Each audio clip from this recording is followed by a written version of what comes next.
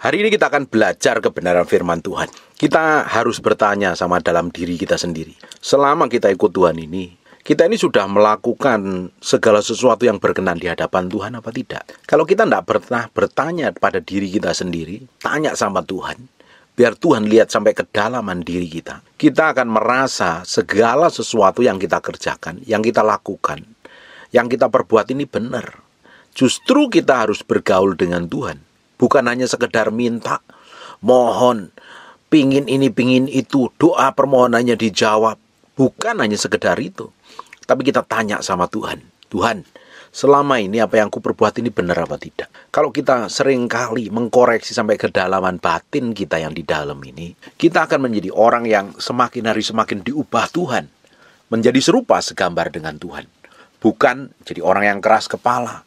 Orang lebih suka nilai, melihat, menghakimi, menuduh, melihat kelemahan orang lain, ngomonginya, mempertentangkannya, membicarakannya.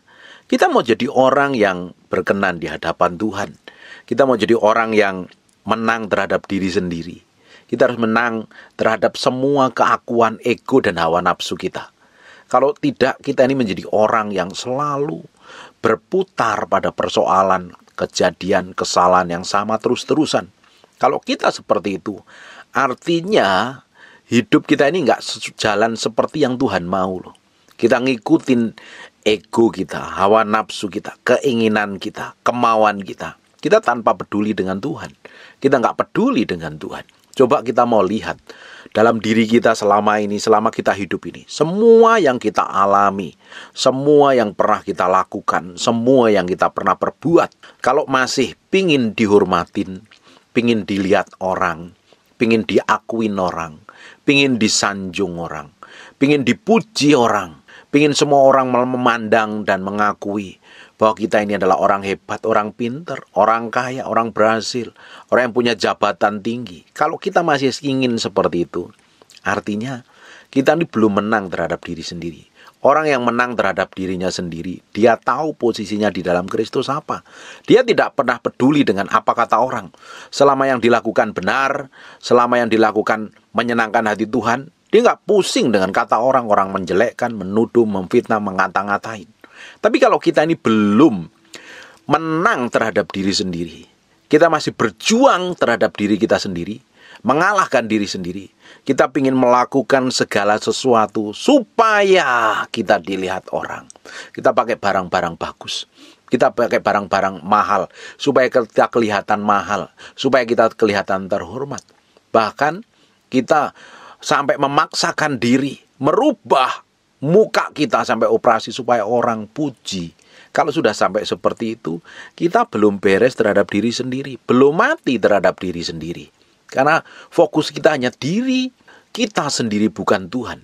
Yang harus menjadi utama dan menjadi tujuan kita adalah Tuhan, bukan diri kita sendiri. Orang yang belum menang terhadap dirinya sendiri selalu berjuang dengan dirinya sendiri sampai mati pun dia akan terus berjuang dan tidak akan mengalami kemenangan. Kita kalau nggak taruh hati kita ini sepenuhnya di hadapan Tuhan, kita akan selalu terus ingin menonjolkan diri kita di hadapan orang lain. Ini lihat semuanya. Padahal kehormatan, pujian, pengagungan semuanya untuk Tuhan. Harusnya untuk Tuhan. Tapi kita coba mencuri untuk kepentingan diri sendiri. Karena kita ingin diakuin. Nih loh, aku nih orang terhormat. Ya aku nih loh orang yang paling baik. Aku nih orang yang mahal. Dengan coba pakai barang mahal. Padahal kalau di dalam diri kita ini ada Kristus, kita hidupin kebenaran, kita belajar, matiin keakuan, pikul salib sanggal diri mati daging. Yang kita utamakan adalah tujuan Tuhan. Yang kita mau senangkan adalah hati Tuhan. Kita otomatis berjalan dari kemuliaan kepada kemuliaan. Nu perjalanan untuk mengalami kemenangan setiap hari berjalan bersama Tuhan itu dibutuhkan pengalaman pribadi dengan Tuhan. Dan kita harus mengambil keputusan dengan Tuhan setiap hari harus benar. Bukan benar menurut pandang kita sendiri. Tapi benar menurut cara pandang Allah. Kita harus tahu, kenali diri kita sendiri itu siapa di hadapan Tuhan. Jangan-jangan selama ini, apa pun yang kamu kerjakan, mau pelayanan, pingin dipuji orang, pingin diakuin orang, nu lihat pelayananku. Lihat khotbahku bagus apa. Lihat jemaat yang aku gembalakan. Lihat mobil yang aku pakai. Lihat rumahku aku tinggal di mana. Lihat bajuku. Lihat penampilanku. Lihat betapa mulusnya mukaku. Dan semuanya hanya padaku. Aku. Diriku. Dan saya. Kalau sampai kita masih seperti itu. Perlu mati daging. Perlu pikul salib. Perlu sanggal diri. Kalau kita masih seperti itu, kita akan ketemu dengan banyak problem dengan diri kita sendiri. Karena problem yang kita alami itu sebenarnya problem dengan diri kita sendiri. Yang kita sendiri belum menang terhadap diri kita sendiri. Sehingga kita menimbulkan keributan permasalahan dengan orang lain. Orang yang menang terhadap dirinya sendiri, dia tahu siapa di dalam Kristus. Mau pakai barang mahal, mau pakai sepeda motor, mau jalan kaki, mau menaik angkot, mau pakai mobil mahal. Itu bukan yang utama yang utama adalah menyenangkan hati Tuhan. Banyak orang coba mendefinisikan dirinya sendiri sebagai orang-orang terhormat, orang-orang yang hebat, orang-orang yang pintar dengan pajang gelar yang banyak sekali. Dengan pakai barang mewah, barang mahal, segala macam. Untuk mendefinisikan dirinya sendiri di hadapan manusia. Buat apa? Kita coba terlihat keren, terlihat pintar, terlihat bijaksana, terlihat berhikmat di hadapan manusia itu lu buat apa? Apa ingin dipuji orang? Apa ingin diakuin orang? Apa ingin dapat tepuk tangan dari orang lain? Kalau kita hanya ngejar itu, belum tentu yang kita lakukan itu berkenan di hadapan Tuhan. Yang harus kita lakukan adalah mengejar kekudusan, mengejar kesucian, mengejar perkenanan kepada Tuhan. Kita harus belajar mati terhadap keakuan kita mati terhadap diri kita sendiri, supaya kita ini mengalami kemenangan terhadap diri kita sendiri. Kalau orang yang belum mengalami kemenangan terhadap dirinya sendiri, dia akan susah menerima ke kekurangan orang lain. Dia akan susah menerima kelemahan orang lain. Dia akan susah menerima kekurangan pasangannya. Dia coba selalu tuntut, selalu tuntut, selalu paksa orang lain melakukan seperti yang dia mau. Kalau nggak didapati orang lain melakukan seperti yang dia mau, dia marah, dia kecewa, dia sakit hati, capek. Orang Kristen banyak hidupnya capek, lelah, yang dikejar hanya kepuasan dirinya sendiri. Kita kalau mengejar kepuasan diri kita sendiri, dengan coba melakukan ini dan itu capek, lelah. Ada orang yang ingin kelihatan baik, dia selalu berbuat baik sama orang, tapi bukan murni tujuannya lelah, pengen kelihatan kudus, kelihatan suci, tapi menipu Tuhan. Buat apa? Kita harus ngejar perkenanan Tuhan. Kita harus taruh hati kita ini sepenuhnya di hadapan Tuhan. Sepenuhnya di hadapan Tuhan. Jangan beri ruang kosong sedikit pun buat diri kita sendiri. Saya udah ngomong ini berkali-kali. Kalau Bapak Ibu rajin mendengarkan apa yang saya khotbahkan, apa yang saya ajarkan. Jangan pernah beri ruang kosong untuk diri kita sendiri. Untuk membanggakan diri untuk mendapat pujian dari orang lain, untuk dapat pengakuan, bahkan untuk mendapat keuntungan diri kita sendiri tanpa peduli dengan hati Tuhan. Dengerin baik-baik, hidup kita selama ini harus untuk Yesus. Kalau mati, aku mati, mati adalah keuntungan bagiku. Kalau aku hidup, aku harus memberi buah untuk kemuliaan nama Tuhan. Bukan untuk mencari kesenangan diri sendiri. Kalau kita mau meng mengkonsekrasikan diri kita, menguduskan, memisahkan kita dari semua keinginan daging dan hawa nafsu kita. Hidup kita akan didapatin berkenan di hadapan Tuhan. Orang-orang model kayak begini loh. Orang yang akan dipercayakan banyak hal sama Tuhan. Orang yang belum menang terhadap dirinya sendiri. Selalu mengejar keakuannya, kepuasannya, hawa nafsunya. Dan ternyata itu melibatkan banyak orang yang jatuh dalam dosa. Tapi kalau kita ini mau bayar harga di hadapan Tuhan, hidup kudus, menyucikan diri, pikul salib, mati daging, mengatur kata-kata kita sesuai dengan kebenaran firman Tuhan, bukan asal ngomong, bukan asal hakimi, mengatur cara pandang kita sesuai dengan cara pandang kerajaan Allah, bukan cara pandang kita sendiri. Semakin hari kita memiliki pengalaman bersama Tuhan. Kekristenan bukan ibadah sekedar dua jam di gereja, tapi kekristenan adalah perjalanan bersama Tuhan setiap hari dalam keadaan suka dan duka, dalam keadaan diberkati atau dalam keadaan kekurangan. Perjalanan kekristenan adalah perjalanan setiap hari dipimpin Roh Kudus. Justru dalam kondisi yang tidak enak, justru dalam kondisi yang rasanya pahit, terluka, kekurangan, dihimpit tekanan, sendiri ditinggalkan, tanpa tahu tujuan akhirnya apa. Rasanya gelap, ngadepi jalan buntu.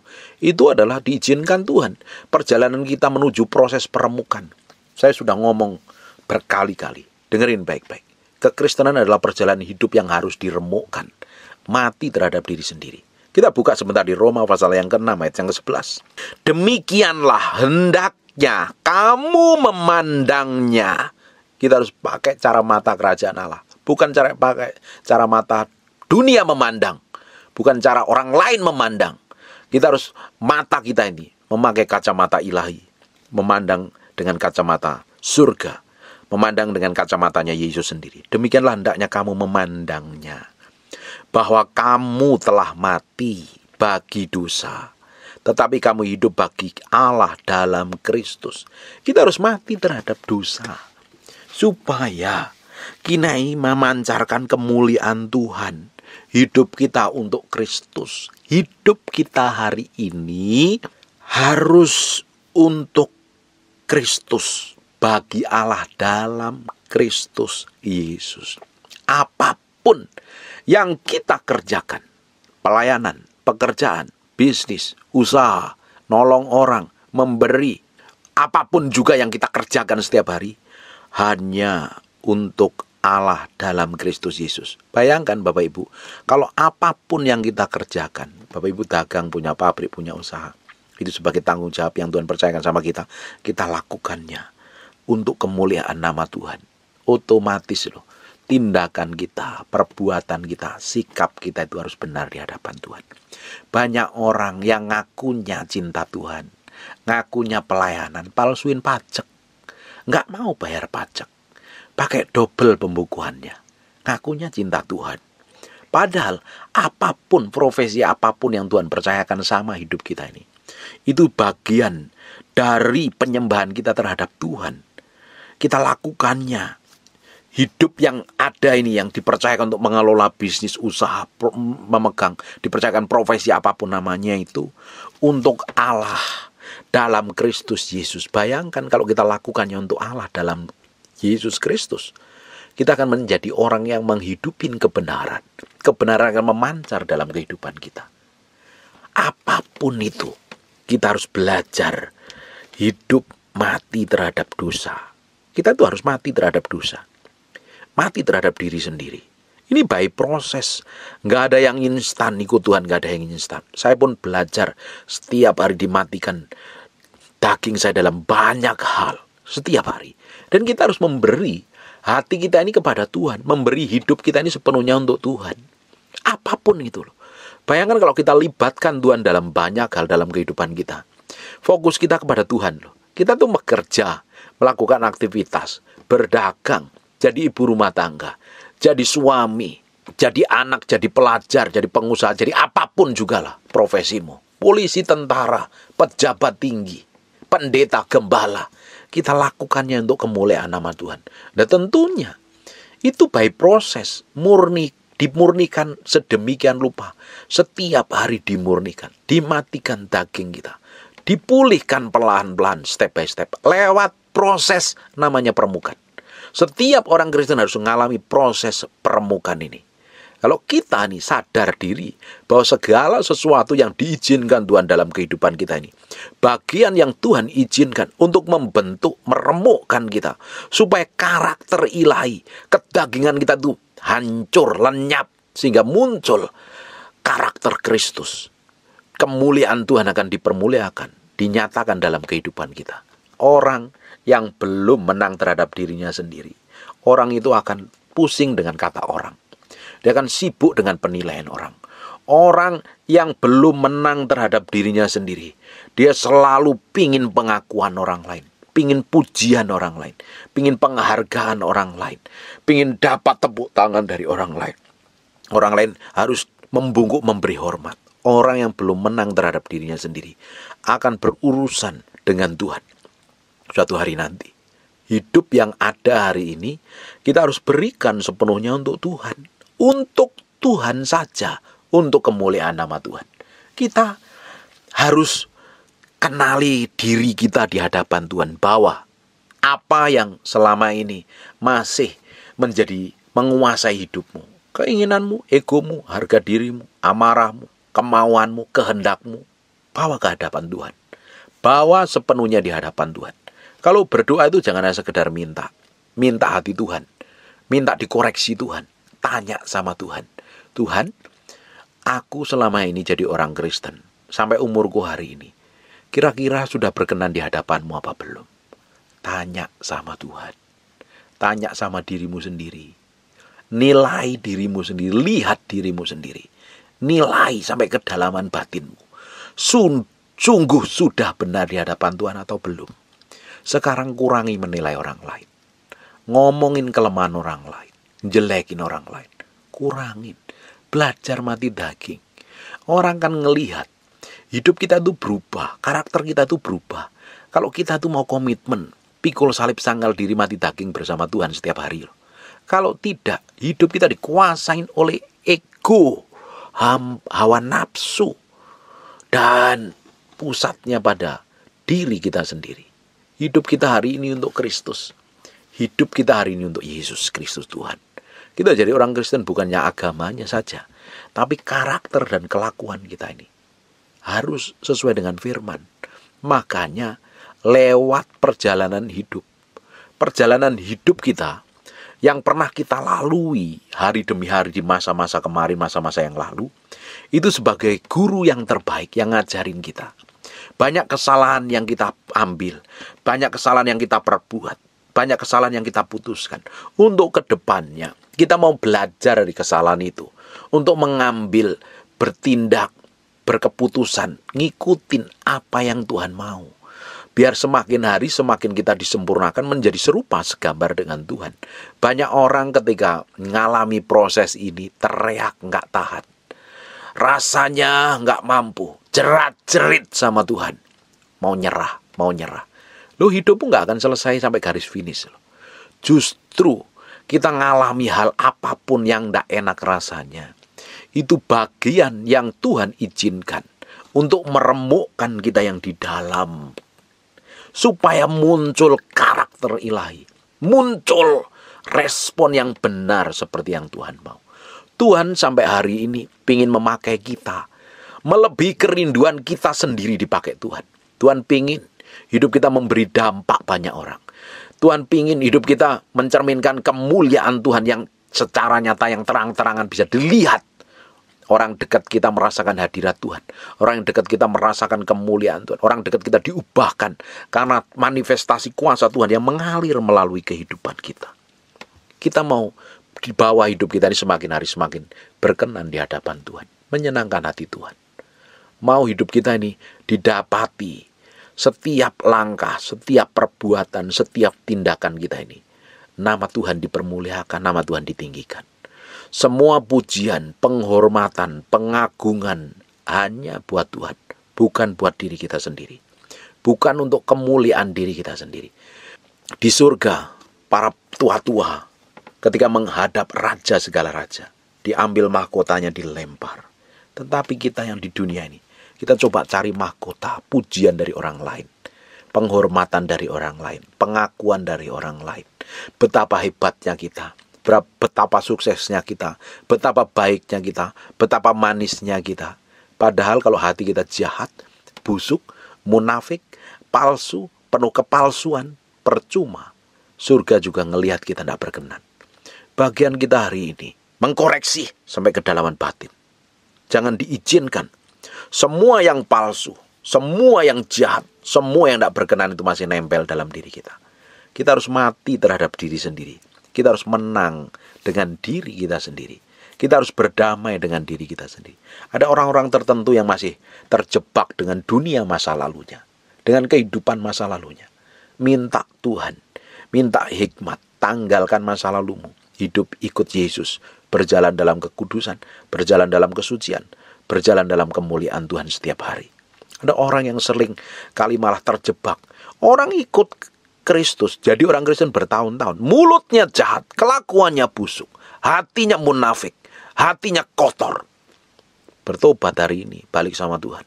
Engkau jadi orang Kristen, tapi malah menjadi batu sandungan buat orang lain. Menjadi batu sandungan buat pasangan hidupmu. Menjadi batu sandungan buat keluargamu, anak-anakmu, orang tuamu, mantumu, pertuamu, besanmu. Artinya engkau belum menang terhadap diri sendiri engkau masih bergumul dengan dirimu sendiri. Bayangkan Bapak Ibu, kalau kita ini masih bergumul terus-terusan dengan diri kita sendiri, belum mengalami kemenangan. Bagaimana mungkin hidup kita memenangkan orang lain yang masih terbelenggu? Wong kita sendiri saja terikat. Kita sendiri terikat dan terbelenggu. Bagaimana mungkin kita bisa melepaskan orang lain? Dibutuhkan komitmen hari ini bertobat. Dibutuhkan komitmen ini hidup takut akan Tuhan. Dibutuhkan komitmen hari ini belajar hidup berkenan seperti yang Tuhan mau, berjalan dalam ketepatan nilai, menyenangkan hati Tuhan. Apa pun yang terjadi dalam kehidupan kita hari ini, kita mau dedikasikan hidup kita ini sepenuhnya untuk Tuhan, untuk menyenangkan hati Tuhan. Apa pun yang terjadi, kita mau berikan hari demi hari waktu kita ini untuk menyenangkan hati Tuhan. Kita mau bawa hidup kita ini setiap hari, setiap hari kita bawa ke hadapan Tuhan. Kita mau dedikasikan hidup kita yang ada ini, waktu yang ada ini untuk kemuliaan nama Tuhan. Untuk kemuliaan nama Tuhan. Kita mau bawa setiap kata-kata kita, tindakan kita, perbuatan kita, keputusan kita ke dalam tangan Tuhan. Kita mau bawa semua yang di dalam hati kita yang tersembunyi di dalam tangan Tuhan. Biar Tuhan dapatin kita menjadi orang yang berkenan. Kalau belum kita masih sadar diri punya kelemahan, kekurangan, kejahatan, kemunafikan, kepalsuan hidup. Minta roh kudus cabut sampai ke akar-akarnya. Nanti engkau akan diremukkan Tuhan. Diremukkan sampai seremuk-remuknya. Dan kita semua harus ngalami ini. Tanpa ngalami ini, hidupmu nggak akan ngalami kemenangan. Hidupmu nggak akan memiliki dampak. Hidupmu malah jadi batu sandungan. Hidupmu, hidupmu tambah busuk dan jahat di hadapan Tuhan. Kita mau jadi orang yang hidupnya itu mencerminkan kemuliaan Tuhan. Kita mau jadi orang yang hidup kita ini loh, didapatin berkenan seperti yang Tuhan mau. Kita mau didapatin hidup kita ini, melakukan tepat seperti yang Tuhan inginkan. Kita mau didapatin setiap hari kita ini, mempermuliakan nama Tuhan. Membuat Tuhan disenangkan. Membuat Tuhan ditinggikan. Membuat Tuhan dipermuliakan. Amin. Menang terhadap diri sendiri. Menang terhadap keakuan. Menang terhadap ego menang terhadap hawa nafsu supaya hidup kita semakin hari semakin dibawa dalam kemenangan, dalam hadirat Tuhan, mencerminkan kemuliaan Tuhan. Coba, saya udah katakan berkali-kali. Kitab Amsal ngomong, dijagalah hatimu dengan segala kewaspadaan. Artinya dijaga, diproteksi hati kita itu dengan baik. Orang kalau hatinya kotor, yang manifestasi dalam hidupnya kotor kata-katanya kotor, pikirannya kotor, perbuatannya kotor. Kita mesti jagain apa sih sebenarnya yang belum beres dalam hidup kita ini di hadapan Tuhan. Datang kepada Tuhan, tanya sama Tuhan, minta Tuhan pulihkan, minta Tuhan bawa hidup kita semakin hari semakin mengalami kemenangan. Bawa hidup kita ini semakin hari semakin mempermuliakan nama Tuhan. Apa pun itu namanya. Kita harus transparan di hadapan Tuhan, terbuka. Jangan ada yang ditutup. Percuma toh kita tutup-tutupin. Tuhan itu lihat, Tuhan itu perhatikan. Jauh lebih baik hidup kita itu transparan seperti akuarium yang jernih. Orang bisa lihat dari sudut pandang mana pun orang bisa lihat. Dan dapatin hati kita itu murni tulus, bukan munafik dan jahat. Sekarang saya temukan banyak hamba Tuhan, banyak jemaat Tuhan yang hidupnya penuh kepalsuan. Kelihatannya si rohani, Kelihatannya sih melayani Tuhan, padahal menarik keuntungan diri sendiri. Kelihatannya sih melakukan aktivitas kegiatan rohani, pada prakteknya hidupnya jauh dari kasih karunia Tuhan. Pak di gereja ngomongnya firman, di hidup hari-hari ngomongnya dengan kata-kata kutuk dan kata-kata makian. Bagaimana mungkin hidup kita ini berkenan di hadapan Tuhan? Bagaimana mungkin kita bisa transparan di hadapan Tuhan kalau kita ini hidup dengan dua pribadi yang berbeda? Di gereja kudus suci tak bercacat celah, di praktek hidup hari-hari seperti setan, berkelakuan iblis, bermulut roh-roh jahat. Bagaimana mungkin hidup kita menyenangkan Tuhan?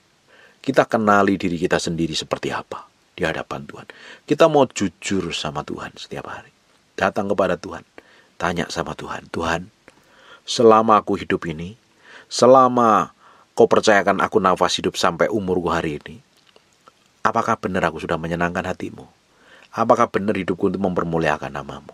Saya ketika menyembah Tuhan, kadang saya diam dalam hadiratnya. Tuhan, apakah benar semua motivasiku? Apa benar semua yang aku lakukan untuk kemuliaan namamu? Kalau masih ada hal-hal yang membuat engkau luka cabut, remuin aku Tuhan. Aku harus menang terhadap diriku sendiri. Makanya ada orang-orang tertentu yang hidupnya ingin dipakai Tuhan. Harus mengalami proses kematian daging, pikul salib, sangkal diri. Orang yang menang terhadap dirinya sendiri, Tuhan akan limpahi hikmat, pengertian, dan pengetahuan. Tapi kalau orang masih struggle, orang masih berjuang dengan dirinya sendiri, orang itu akan mengalami banyak problem, bahkan menghadapi masalah dan kegagalan. Waktu kita mengalami proses permukaan, kematian daging, pikul salib, sangkal diri, Waktu itulah kita taruh hati ini dengan benar di mesbah Tuhan. Harus sikap hati kita itu benar di hadapan Tuhan. Harus sikap hati ini berkenan di hadapan Tuhan. Harus hidup kita mempermuliakan nama Tuhan. Amin. Perjalanan hidup kita setiap hari harus didapatin menyenangkan hati Tuhan. Semakin hari semakin Tuhan berkenan dengan apa yang kita perbuat dan apa yang kita lakukan. Apa pun yang kita kerjakan hari ini, apa pun yang Tuhan percayakan hari ini, itu bagian hidup yang harus mempermuliakan nama Tuhan. Orang bisa melihat orang sekitar kita. Di serial manifestasi Tuhan dalam kehidupan kita. Orang di sekitar kita bisa melihat manifestasi kuasa Tuhan mengalir melalui kehidupan kita. Memancarkan kemuliaan. Jangan ambil keuntungan buat dirimu sendiri. Jangan ambil pujian buat dirimu sendiri. Supaya dapat pengakuan orang lain matiin dagingmu dan hawa nafsu. Saya masih melihat ada orang-orang yang memajang gelarnya panjang kali lebar kali tinggi. Apakah dengan kau panjang gelar, kau dapat ingin dapat pujian dari orang lain betapa berhikmatnya dirimu? Lu punya gelar itu bagus, tapi gelar kalau untuk pamer nggak ada gunanya sama sekali. Ketika engkau pakai barang mewah, barang mahal, pakai barang mewah, barang mahal nggak masalah. Tapi kalau engkau punya barang mewah, barang mahal hanya sekedar untuk pamer dapat pujian dari orang lain, itu hati harus diluruskan kembali. Karena semua ya berkat yang Tuhan berikan sama kita, even satu rupiah pun, suatu hari kita akan bertanggung jawab di hadapan Tuhan. Berkat, hikmat, pengertian, gelar, jabatan, profesi, pekerjaan, usaha, semua yang Tuhan percayakan hanya untuk kemuliaan nama Tuhan. Bukan kita coba curi kemuliaan buat diri kita sendiri. Kita itu mau didapati menjadi orang yang real berkenan di hadapan Tuhan. Real berkenan di hadapan Tuhan. Kita mau jadi hidup yang benar di hadapan Tuhan. Bukan hidup yang munafik, hidup penuh kepalsuan. Hari ini kita mau koreksi hati kami, kita masing-masing. Saya minta Tuhan koreksi terus setiap hari. Bapak Ibu juga harus minta koreksi Tuhan. Tiap hari tanya sama Tuhan. Tuhan, kau mau apa dalam hidupku? Tuhan, kau mau apa dalam hidupku? Semakin hari, kita mau didapati menjadi orang yang berkenan dan menyenangkan hati Tuhan. Menang lewat proses, mati daging, pikul salib, sanggal diri. Sampai karakter kita, kelakuan, sifat kita. Mencerminkan kemuliaan Tuhan. Amin. Tutup matamu, tutup Alkitabmu, kita berdoa. Bapak terima kasih buat firmanmu, kami materaikan dengan darah anak domba Allah. Kami izinkan roh kudus mengkoreksi hati kami sampai kedalaman batin kami cabut semua kejahatan yang masih nempel. Motivasi busuk, karakter busuk dan kelakuan jahat yang tidak menyenangkan hatimu. Pakai hidup kami menyenangkan hatimu hari demi hari membuat namamu dipermuliakan Tuhan. Roh Kudus berikan kemampuan kami untuk pikul salib mati daging sangkal diri. Sampai karakter, kelakuan, sifat perbuatan kami menjadi serupa segambar dengan Tuhan. Terima kasih Tuhan. Berikan kekuatan untuk kami berjalan dalam permukaan ini. Supaya hidup kami hari demi hari mencerminkan kemuliaan Tuhan. Mencerminkan kemuliaan Tuhan. Bagimu hormat pujian dan pengagungan Tuhan. Hanya engkau saja yang kami mau senangkan. Kami berjanji mulai hari ini untuk tidak mencuri kemuliaanmu. Semuanya buat engkau saja. Terima kasih. Engkau sudah mempercayakan kami banyak hal. Kami tahu semuanya itu hanya untuk kemuliaan namamu saja. Makasih ya Tuhan. Terima kasih. Kami hari ini mau menyerahkan hidup kami sepenuhnya di tanganmu yang kudus. Kami bawa sepenuhnya untuk korban yang berkenan di hadapan.